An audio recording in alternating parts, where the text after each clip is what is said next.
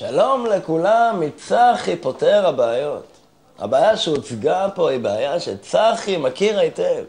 גם צחי שלכם אוהב להישאר פעם, פעמיים, כל השנה בבית. אבל אמא שלו חושבת שזה רעיון לא טוב. אל תדאגו, יש פתרון. כל מה שצריך זה כפפת אגרוף, כיסוי לפנים ומטף. שימו לב. אמא! כן, צחי, כילד טוב של המאמה שלו, פרי נדיר בתוך קערה של קלמנטינות שלו. אתה הקרמבולה של המאמה שלך.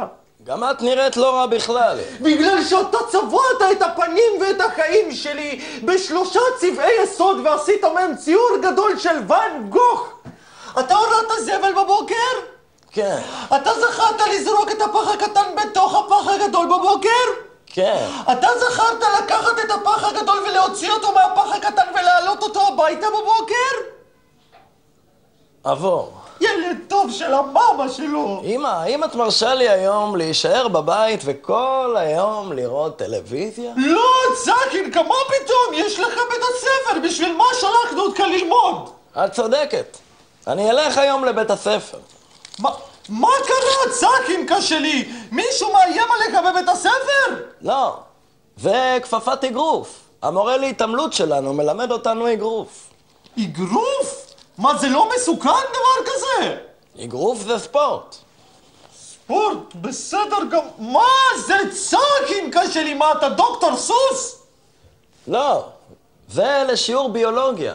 המורה שלנו מלמדת אותנו על כל מיני חיידקים מסוכנים. והיום, חיידק מסוכן שמגיע מהג'ונגלים.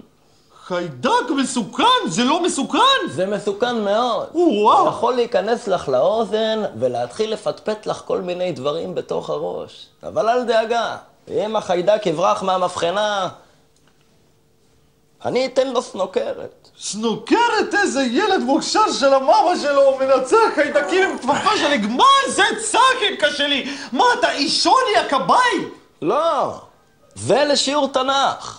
המורה שלנו מלמד אותנו תנ"ך מעשי, והיום הוא הולך ללמד אותנו על נוח והמבול.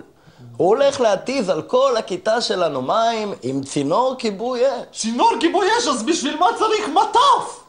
כי אין אישור להוציא את הצינור כיבוי אש, אם אין אש. אז לפני זה המורה האחראי שלנו מצית את כל הכיתה, ואז הוא מתיז עם הצינור כיבוי אש. מצית ומתיז? איזה מין בית הספר זה צחינקה שלי? ממלכתי. ממלכתי? של איזה ממלכה בדיוק? תקשיב לי טוב, ילד טוב של המאמה שלו. אתה תישאר היום איתי בבית, ולא תלך לבית הספר עד שיגמר היום המיוחד הזה.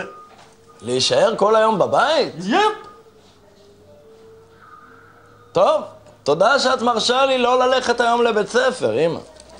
בכיף ילד טוב של המאמה שלו. הבאבא של צחי? אלכס! אלכס, אתה לא תאמין לאיזה בית הספר שלחנו את הבן שלנו!